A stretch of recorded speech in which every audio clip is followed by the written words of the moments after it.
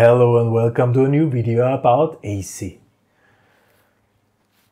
Series circuits in AC case we all have checked. Yeah? Today we are starting with parallel circuits and we are starting exactly the same way as we did for series circuits. We want to have a parallel circuit of a resistance and a coil of R and L. Right? I've drawn this here. This is our situation. So now we have a series circuit with current. Yeah? Now the current is divided. So now the current is not unique in this, but the voltage is unique. So I start by assuming my voltage U. This is the combining element. Yeah? My U equals U and 0 degree. Yeah? 0. Yeah? This means my voltage is here in my real axis because I'm not my own enemy, I can select it like that. Yeah? Here is my U. This is the point in time I am observing. And the rest of the, of the things, I have to deal with them somehow, how they look like. This is my beginning assumption. Let's first calculate the IR, because IR usually is very easy resistors are easy, so IR is U divided by R. Uh, Ohm's law, which is by the way important, divided by R. So actually we have U AJ0, EJ0 uh, divided by R, which is U divided by R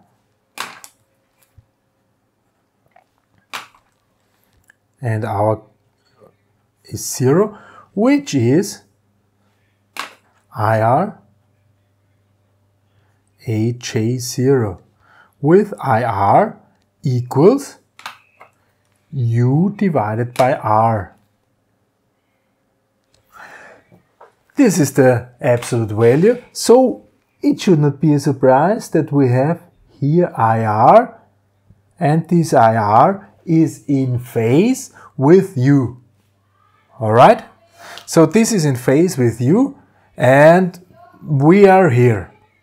Yeah? So let's have a look at IL. How this is looking. Yeah? U divided by J omega L because that's our impedance of our coil. Yeah? This is exactly the same like minus j u divided by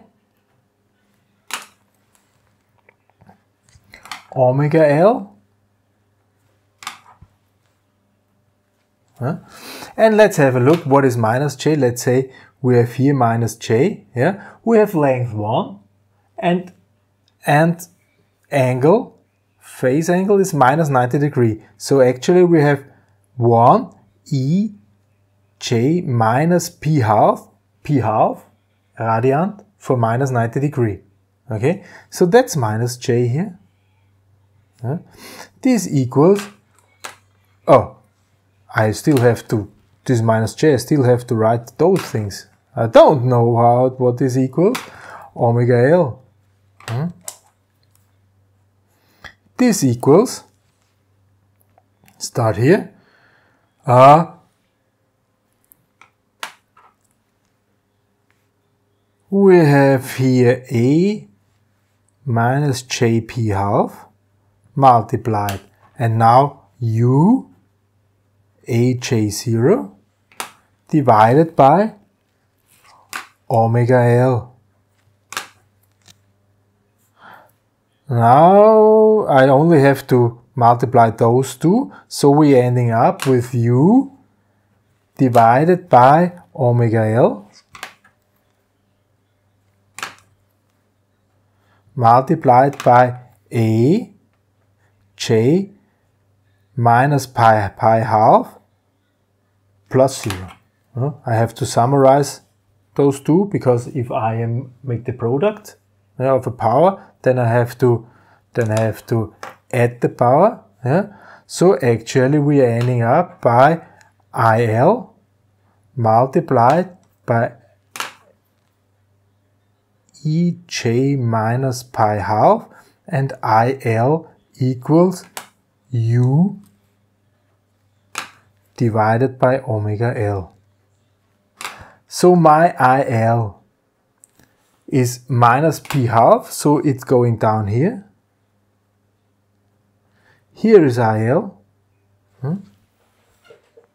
And the length is de derived here from the frequency, from the inductance, from... And here, node rule, my I is the sum of those two. So here, write this here. Here is my I, and this is IR plus IL, according to this rule. Huh? Let's write this down. I is IR plus IL. Huh? Hmm? And here, from I to U, I have a phase phi. This is positive. Turning to left, mathematically positive. Huh? I, IR, let's see what is the result of this. Here, U divided by R, this is IR, plus U divided by J omega L. This is IL. So we are ending up I factor out u, so what is the rest? 1 divided by r, and now minus j. 1 divided by omega L. And here we have u. And this is now, here, this is now 1 divided by the, our impedance Z, because then we would have u multiplied u equals z multiplied by i. So this must be 1 divided by z. So 1 divided by our impedance z equals 1 divided by r minus j 1 divided by omega L. Alright, let's have again a look. We're having here real part 1 divided by r. We're having here an imaginary part minus omega 1 divided by omega L and this results 1 divided by z, the sum of this. 1 divided by z. And we are scaling our, our voltage with this. So here we have again the angle phi. Attention, it's going in this direction because we have here turned. Huh? We have not set, we have 1 divided by set. So we're going from here to here. Huh? We're going from here to here. Let's see what our phi, how is calculated. We have arctangents, opposite divided by adjacent. Yeah, so we have 1 divided by omega L divided by 1 divided by R. Yeah? And we have minus because we are have 1 divided by z. Yeah? So we are going actually in this direction. We're not calculating the the, the, the value from here to here, We're calculating from here to here, so we have to use this minus here. Think about it. Minus r cosine, and now we have here r divided by omega L. Hmm? That's it. Yeah.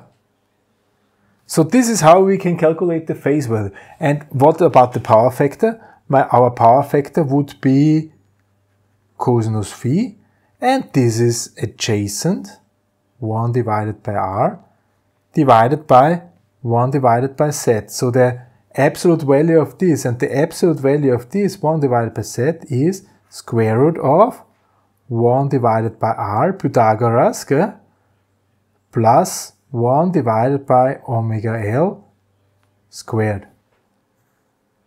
So actually we're ending up by 1 divided by R. And now this stuff here, 1 divided by R squared plus 1 divided by omega L squared. power factor. Phase, impedance, everything is here. Yeah. Hmm. Not that easy, right? Especially this thing here is tricky. That this this uh, you have to to use this minus here because actually it's it's the reverse value.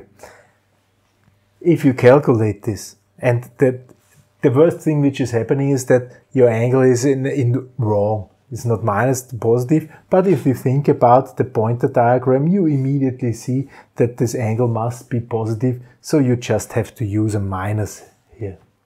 This is not that, here it's tricky to see, yeah? But if you calculate this and you get a negative value and see pointer diagram like that, you know, okay, I mixed up the signs parallel circuit of R and L. Right? First parallel circuit. Next time, parallel circuit of R and C of a resistor and a capacitor. Let's see how this turns out. For this time, thank you very much for listening. Goodbye.